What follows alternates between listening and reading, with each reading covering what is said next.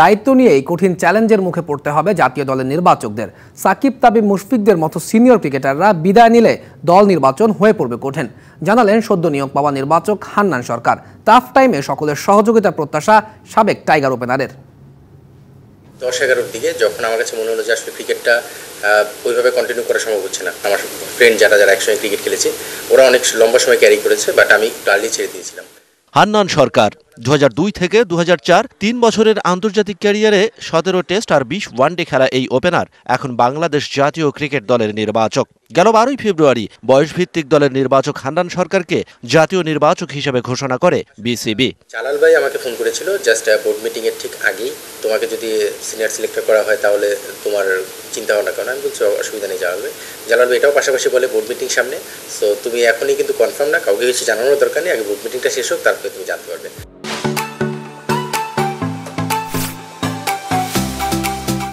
মার্চের শুরুতেই দায়িত্ব বুঝে নিয়ে আব্দুর রাজ্জাকের সাথে যোগ দিচ্ছেন প্রধান নির্বাচক গাজী আশরাফ হোসেন লিপু আর হান্নান সরকার।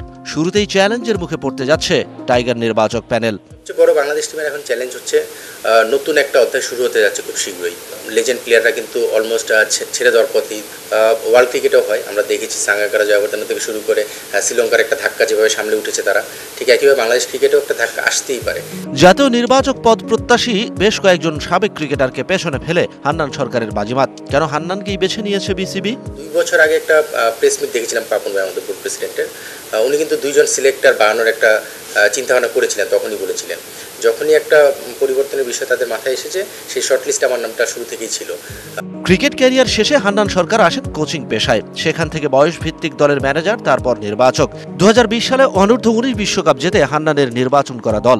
আর এবছর এশিয়া কাপ জয়ী যুবা টাইগারদেরও নির্বাচক ছিলেন হান্নান। রোদে পুরে বৃষ্টিতে ভিজে মাঠ থেকে অর্জিত অভিজ্ঞতা জাতীয় দলের জন্য কাজে লাগাতে চান এই নির্বাচক। দুইটা অ্যাচিভমেন্ট হয়েছে, যেটা হলো ওয়ার্ল্ড কাপ চ্যাম্পিয়ন এবং Asia cup champion Shahan Papon DBC news Dhaka.